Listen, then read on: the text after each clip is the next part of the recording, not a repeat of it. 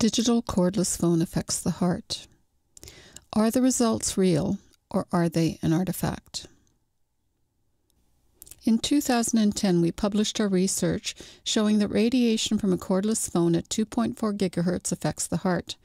Our research was published with other studies dealing with the non thermal effects of non ionizing radiation as an ICEMS monograph.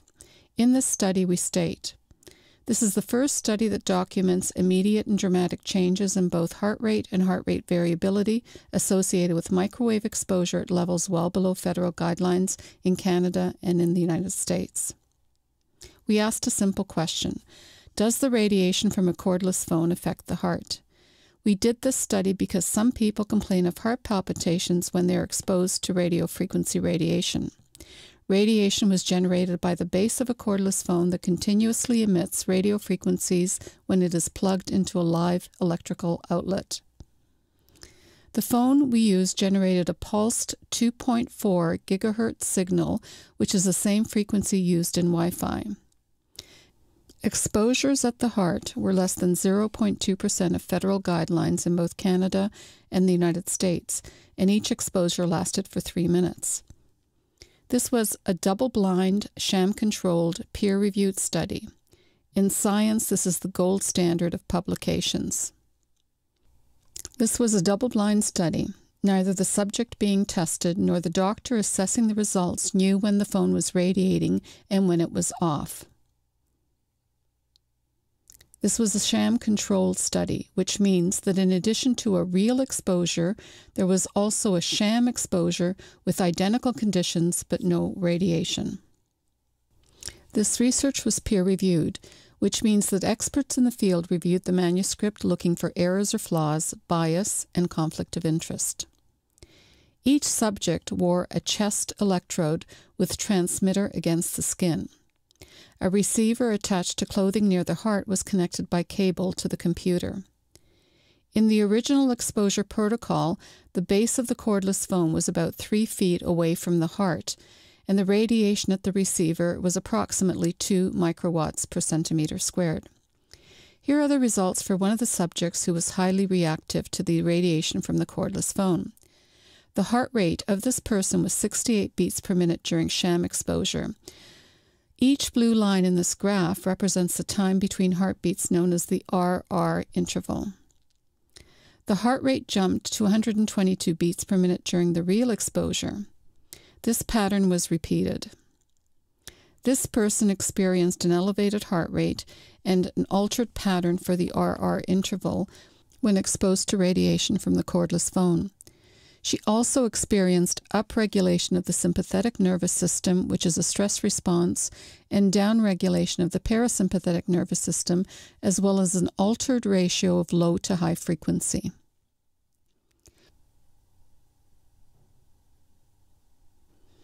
Are the results in this experiment real, or are they an artifact due to electromagnetic interference? In other words, was the radiation from the cordless phone interfering with the receiver and giving a false reading, or was it interfering with the heart? We designed a test for interference. Interference increases as the radiation becomes stronger, and one way to make it stronger is to move the transmitter closer to the receiver. So we move the base of the cordless phone closer to the heart. Radiation at the receiver was much higher than in the original study, but still less than federal guidelines. Here is the response of a 59 year old female who did not previously react to the radiation. With sham exposure at the head, her pulse was 60 beats per minute. Sham exposure at the heart, real exposure at the heart, real exposure at the head. There was no change in heart rate, and no change in the RR interval. No change in the sympathetic nervous system with exposure. A slight change in the parasympathetic nervous system, and no change in the ratio of low to high frequencies. The closer a transmitter is to the receiver, the greater the potential for interference. The distance between the receiver and the transmitter in this experiment was 5 centimeters, and radiation at the receiver was much higher than in the original study. There was no response, which demonstrates that there was no interference and leads us to conclude that the results are real and are not an artifact. Just as radio frequency radiation can interfere with electromagnetic devices, it can also interfere with bioelectromagnetic organs like the heart. Both are examples of electromagnetic interference. In this study, the radiation was affecting the heart and not the equipment. For more information, watch the YouTube video describing this research. Read about the effects of microwave radiation on the heart and download a free copy of our research publication.